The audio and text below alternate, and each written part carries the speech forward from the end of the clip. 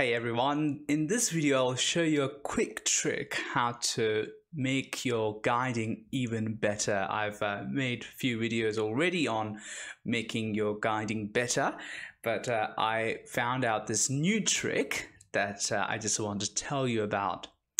And this is very, very simple. Go to your PHD 2, go to advanced so go to guide and then advanced settings and then go to algorithms and choose this under right ascension choose predictive PEC so what this does is that it uh, uh, calculates your periodic error and then predicts it.